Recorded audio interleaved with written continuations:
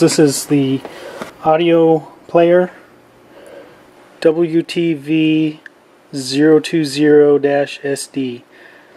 It says mini on there, and I was kind of misled. I thought it meant it had used a mini SD. It uses a micro SD.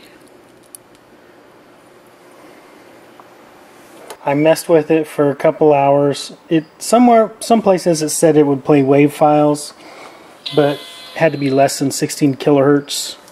Finally, I just got the little uh, program to convert the convert the files to AD4 format. And this Arduino is just running a, a, a sketch. It's a loop where it's actually calling the files by name, which is pretty handy. You have to name the files a specific thing 0000, 0001, 0002, 0003. Um, and you can have 512 music files. So you can hear it, it can actually drive a speaker fairly well from just from the little chip. Okay, so I've got all my uh, audio files that I'm going to play. I have this key over here so I can remember what they are. Um, there's a thing called uh, 4D SOMO tool. Um, I'll uh, provide a download link on my website. And I'm going to find these files.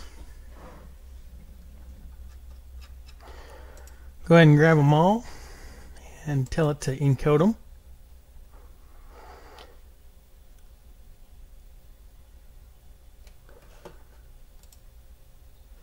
We go over here.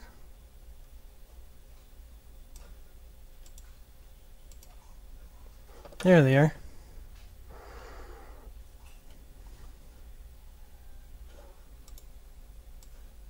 Alright, so here's my SD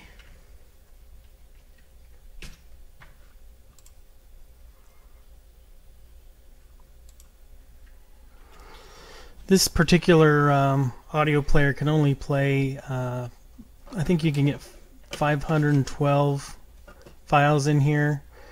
Um, and I had a lot of trouble until I found I had a 1 gigabyte SD card that was using the FAT file system. So I would suggest trying that. Um, my FAT 16s and NTFS cards didn't work, so.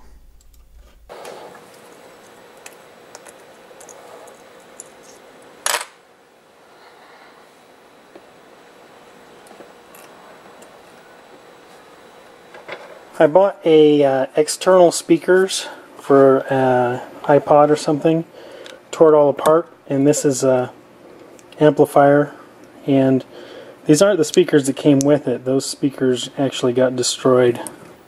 But there are lots of other options. You could use, um, initially, I built an amplifier out of this. It's a LM386 in. This is a little amplifier chip.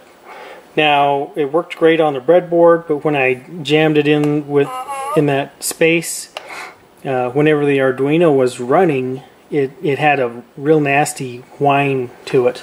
So these are kind of old old technology here, so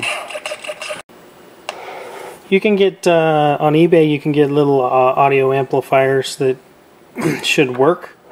Um, these guys pulled a little too much current, in my opinion.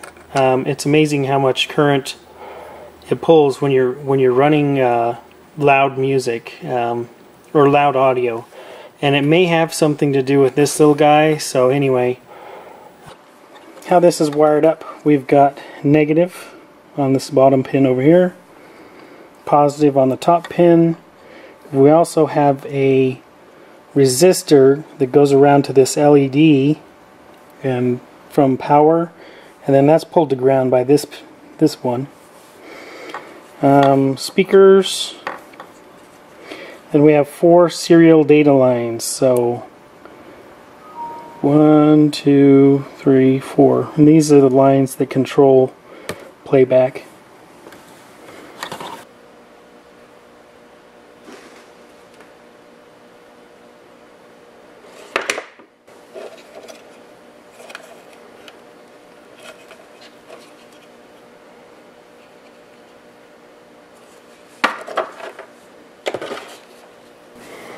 These holes weren't put in the perfect spot, especially this one, but anyway.